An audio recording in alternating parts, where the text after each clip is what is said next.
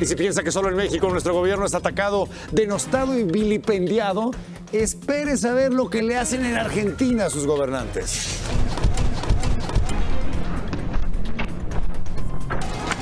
Órale. Muchos huevos, ¿no? Sí, sí. Y Platanito nos lo muestra otra vez, su ardiente sentido del humor. Mire, El tijeritas está distraído ahorita y le tiene pánico al fuego, entonces vamos a quemar. Tú, acompáñame, pero te metes por atrás para que. Sígueme. Le tenemos imágenes de la reunión de los Julios. Julián Álvarez, Julio César Chávez y Julio César Chávez otra vez. Estoy con mi querido Julián. Aquí está Julio César Chávez. ¡Eh, tío! ¿A usted le gustan las rusas? Pues nosotros tenemos una fantástica que lo va a dejar súper satisfecho.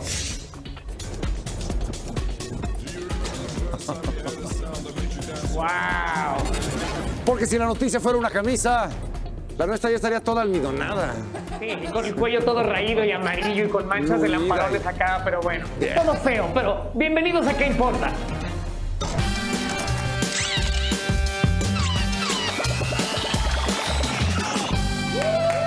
Noches, México. Buenas noches, Eduardo. ¿A ti quién te la almidona? Fíjate que más bien yo te iba a preguntar a ti quién te la plancha, pero ya sé. Este, en noticias que no le importan a México, pero que lo hacen mágico y diferente a cualquier otro país, veremos a una banda sinaloense montándose en un gusano mecánico gigante. Usted seguramente se pregunta ¿por qué? Y la respuesta es muy sencilla. Porque México es mágico y musical. Adelante, muchachos. Mira nada más qué bonito. Una oruga mecánica gigante y una banda sinaloense. Si las tuvieras, ¿no harías esto? Con todo instrumentos y tocando Todo. en la oruga. Sí, y dando vueltas por la feria. Alguien, alguien es un genio aquí. El genio es el que los invitó a tocar el en el gusano, ¿no? Exacto. Pero miren nada más qué bonito. ¿A poco no lo soñó de niño? Una oruga gigante y musical llena de, pues, ¿qué serán? ¿Borrachos? ¿Locos? ¿Drogados Imagínate están? vivir en Luxemburgo y perder- perderte esto. Exacto. Qué Ahora imagínate que vas pasando por ahí, piensas que de plano te dieron tequila adulterado o algo. Ya onda, güey. ¿Qué estoy viendo? Ahora, lo bueno es que no era la banda MS porque hubieran necesitado como seis orugas más para que cupieran todos. Exacto. Ahora, eso lo podrían hacer con los ojos cerrados los de Garibaldi, ¿eh? Sí. Digo, aparte de lo del gusano, porque pues ellos no tocaban instrumentos ni cantaban, hacían playback, entonces hubiera salido maravilloso. Gran punto. Ahora, Luciano Pavarotti, Luciano, jamás habría hecho eso. ¿Por qué? Pues porque no cabía en los carritos, ¿no? Exacto. Ahora, Amplio. está bueno y todo, pero divertido, divertido, los músicos del Titanic, o sea, estos del gusano, ¿qué, güey? Eso sí estuvo bueno, para que veas. Güey, los músicos del Titanic somos nosotros. Exacto. Horror. Y no es el primero que se anda tocando la trompeta en la montaña rusa, ¿eh? Uh, yo he visto un montón. Bueno, ¿y sabes qué? Luego lo subió una camioneta eh, eh, y se los llevó, pero, pero miren lo que les pasó. Adelante. A la ¡Vámonos, banda. compa! Vámonos todos a seguirla. ¡Fierro, pariente! ¡Vámonos! ¡Ah! ¡Chin! El del trombón se cayó, güey. ¿Cómo? Me acordé del Brian, porque si viene- viste cómo andaba regando sus chavacos por todos lados. Exacto, por todos lados. Y por detrás, además, se le salieron por la cajuela. ¡Qué horror! Es que es un hombre enloquecido por la música en vivo. ¿Ah, sí? Sí, con decirles que así se baña el director de esta orquesta, miren.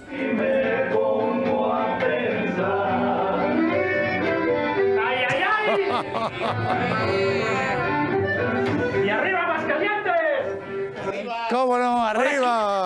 ¿Qué culpa tienen los de la banda tener que estar viendo a ese güey enjabonándose ahí? Pero bueno. No seas envidioso. Si quieres, tú puedes.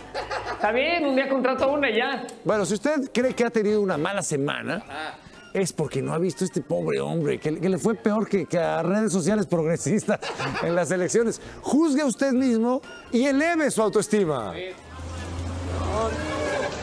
¡Eso! A ver, ya lo sacaron. Estaba atascado, había una, una coladera abierta, un agujero. Y ya lo sacaron del hoyo. está ahí, Muy bien. ya está sumido. Muy bien, buen trabajo en Ahora, equipo. se baja a revisar cómo quedó el coche. Dúdenlo.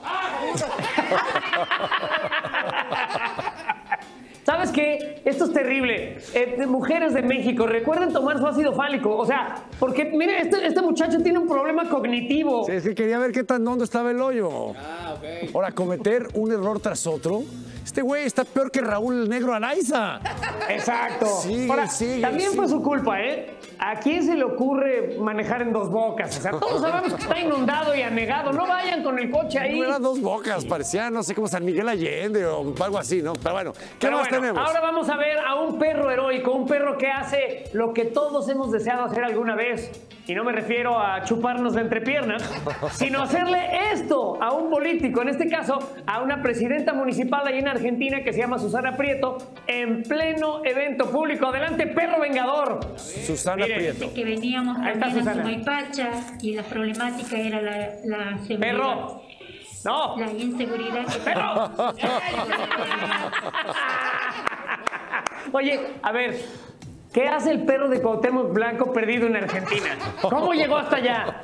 No sé, no sé, yo sé que estoy mal, perdón público, pero ese perrito me representa. Sí, Nos sí, dio sí, sí. El perro sí sabe lo que quiere la ciudadanía y se los acaba de entregar. Es más, se me hace que el perro está en campaña. Bueno, Se me pero, hace. pero como todo en la vida tiene su aspecto positivo. Dirán lo que quieran, pero ahora la presidenta esta municipal allá en Argentina tiene la piel de la pierna suavecita, lozana, ¿Tú lisita. recomiendas eso? Que los perros te hagan pipí. O sea, ¿es el tratamiento que te hiciste para las patas de gallo tú? Mira, mira cómo está delicito. Muy bien, Nada. suavecito.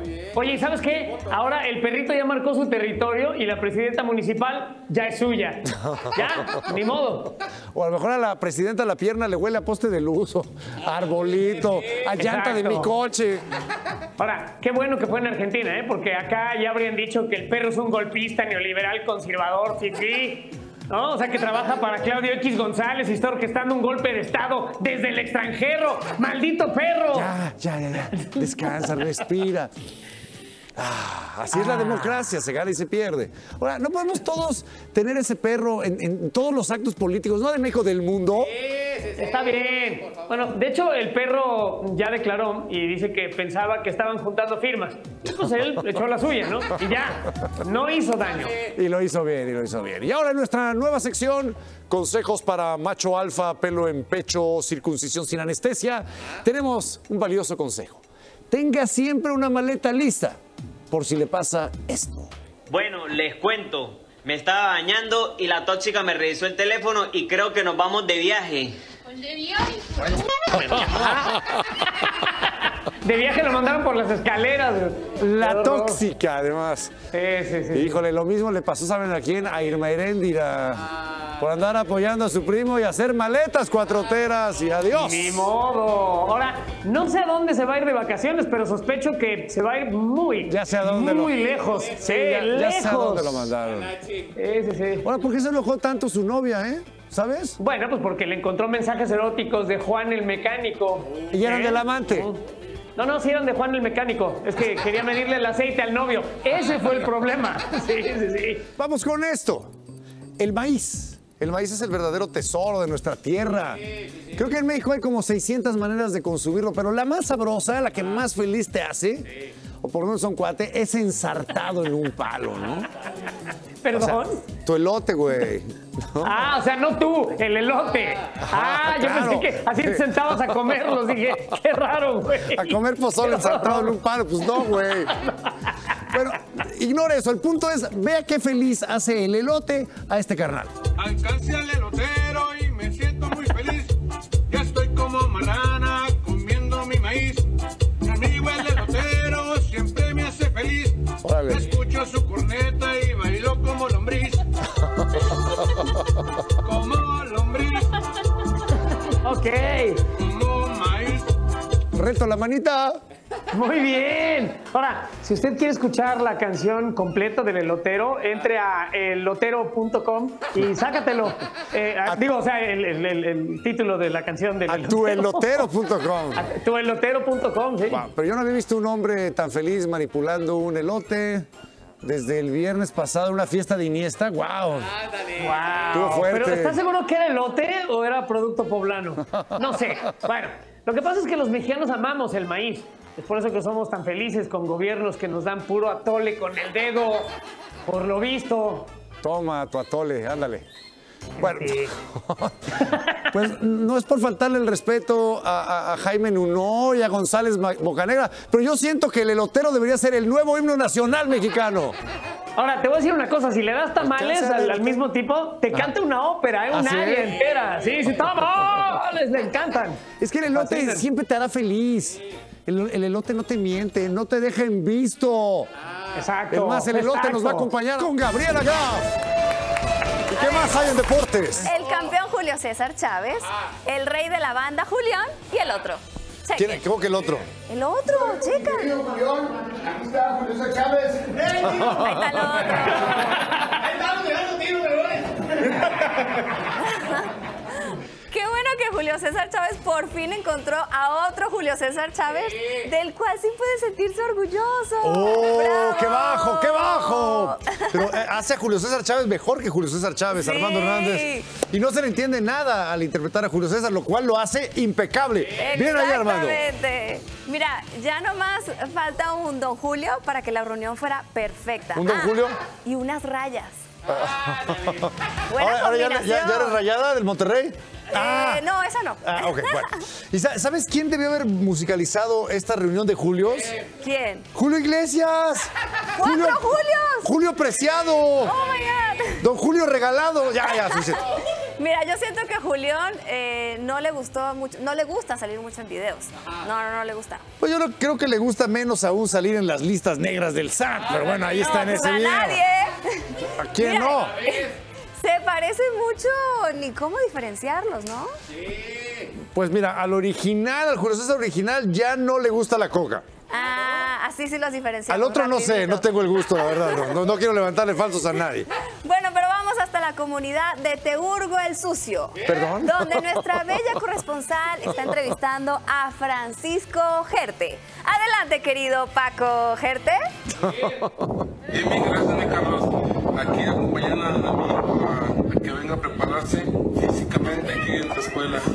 Muy bien. Tarde, pues algo fresca, mi Paco. Claro que sí, mi Carlos, pero eso no es bien. ¡Ay, güey! A ver, a ver, a ver, a ver. ¡Paco! Ahí hay más de lo que se ve. ¿Qué les parece si lo checamos en el bar? ¿Sí? Vamos al bar a checarlo. Vamos al bar. Paco se ve nervioso desde el inicio, ¿no? Sí. La chica también, ¿eh? Sí, hace como una sonrisita ahí dudosa. Coqueta, pero además se pone nerviosa. Ajá. Paco se queda helado. Podría ser un fuera de lugar de Paco que a lo mejor no tenía nada que estar haciendo ahí. Así es. Y ya con la revisión del bar se ve que la jugada es limpia, pero como que algo esconde, no sé. Sí, eh, al parecer, porque su novia se enojó muchísimo. Sí, pero más su esposa que lo estaba viendo por la televisión. A esa sí se enojó de verdad. ¿Por qué sonreirán Paco y la chica así de sospechosos? Yo sé, yo ¿Por sé. Es que estaban pachecos. Sí. Pero pobre Paco, si ni había hecho nada. Mira, es que el de su novia es un enojo previsivo o premonitorio. Ah, como de Paco, que no, ni se te vaya a ocurrir. Ajá. Paco al parecer piensa que, que su mujer es un oso, ¿no? ¿Sí? Y que si no se mueve y se hace el muerto no le va a pasar nada. Tú como que lo has aplicado, ¿eh? ¿Quién no? Y desde hace mucho tiempo que no veía a Paco tan tieso. Muy ¿Eso qué? ¿Eso qué? Muchas gracias, Gabriela. Y vamos a los espectáculos. Laura Bozo revela quién ha sido en realidad durante todos estos siglos que ha vivido en nuestra tierra. Aquí la momia, aquí Munra, la momia Spears. La momia Spears. Y Platanito el payaso lo hace de nuevo. Sigue quemando gente en sus fiestas. Gracias, Plátano. El tijeritas está distraído ahorita y le tiene pánico al fuego, entonces vamos a quemar. Tú, acompáñame, pero te metes por atrás para que. Sígueme. Estoy más al regresar aquí a ¿Qué importa? Gracias. Tras tantos siglos de habitar este tercer planeta llamado Tierra, Laura Bozo decide revelarnos quién es en realidad. Tome asiento. ¡No! Esto es fuerte, son confesiones que salen desde su corazón. No se vaya usted a desmayar. Adelante, Laura Bozo. Hola a todos. Les mando besos, abrazos, bendiciones. Aquí la momia. Aquí Munra. La momia Spears. Amo mi cuerpo. ¿Y saben qué? Nada me queda mal. Mis ojos, mis ojos, güey, mis ojos. Unas cucharas para sacármelos. ¿Por qué dice que es la momia Spears? Como Britney No sé, no sé. Pero Perdón. ella ama su cuerpo y eso está bien. Qué bueno, este, señora. Pero nosotros nos sentimos muy apenados tras estas declaraciones y por eso queremos ofrecerle unas disculpas a Munra y a Britney Spears y a las momias de Guanajuato también. Sí, sin duda, todos ellos. Ahora, no hay que juzgarla. O sea, hay quien sí siente atracción por Laura. O sea, como Sí. un tío mío, que es el, el tío gerontófilo de la familia, a ese sí le gusta. Le dicen el arqueólogo, el anticuario. El gerontófilo que además es coprofágico, ¿no? Ese mero, ese mero. Creo que Guanajuato tiene que empezar a mejorar su seguridad, ¿eh? No es la primera vez que se les escapa una momia. O si no, ¿de dónde salió el Mester Gordillo? Explíqueme usted. Exacto, exacto. Ahora, yo siempre me pregunté cómo se vería una momia caracterizada de guardianes de la bahía. Y ahí tienen lo que acabamos de ver, ¿no? Ahí está. Laura Ahí está. Corriendo en la playa en cámara lenta. Exacto. Ahora, solo existe una persona a la que le gustó este video. quién? ¿A quién? No, no, no manches. Andrea Bocelli. Exacto. Y también él pidió cucharas para sacarse los ojos cuando le dijeron lo que no vio. Pero bueno, esa mujer es tan graciosa, la verdad, que debería llamarse Laura Broso. Ay, eres bien ocurrente, chistaca. de veras. A mí me da curiosidad que, que ya traiga este, su disfraz de muerto. Estamos apenas en julio. No se adelante, señora. Que conste que a ella le gusta y nos pidió, o le pidió al público en general que le dijeran momia, que le fascina. Que le gusta que le digan momia. no- A la momia Bueno, esta. pero vámonos a otras cosas. A lo mejor usted no ubica. ¡Momia! Al payaso platanito. Este, a lo mejor usted no lo conoce sin peluca, pero aquí se lo vamos a mostrar haciendo lo que mejor sabe hacer. Bromas pesadas a sus amigos, que por cierto cada vez son menos. Mire por qué. El tijeritas está distraído ahorita y le tiene pánico al fuego, entonces lo vamos a quemar. Tú, acompáñame, pero te metes por atrás para que. Sígueme.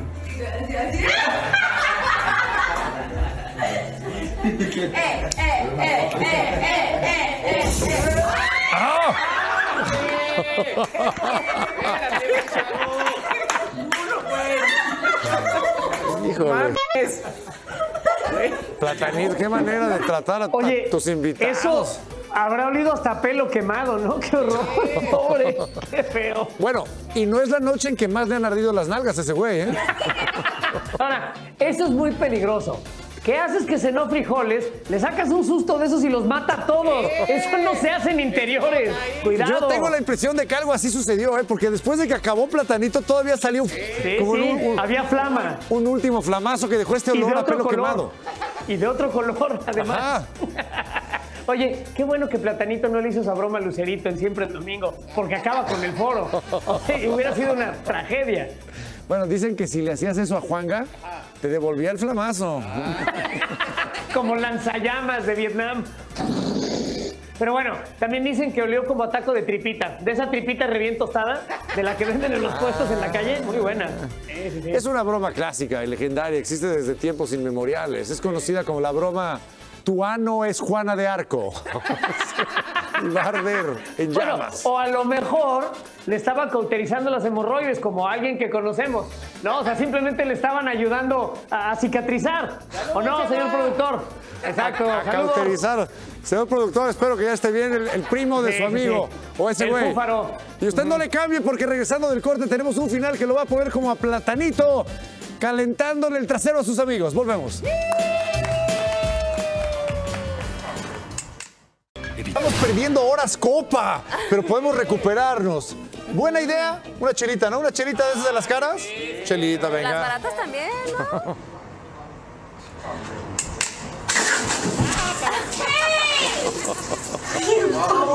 Pero a ver, a ver, mala idea una chelita en la mera cara. Sí, Aunque en la sí. cara no, dicen que no. Pero si estás ¿Cómo? desesperado y quieres, mira, rapidito. Venga de ahí. ¡Salud!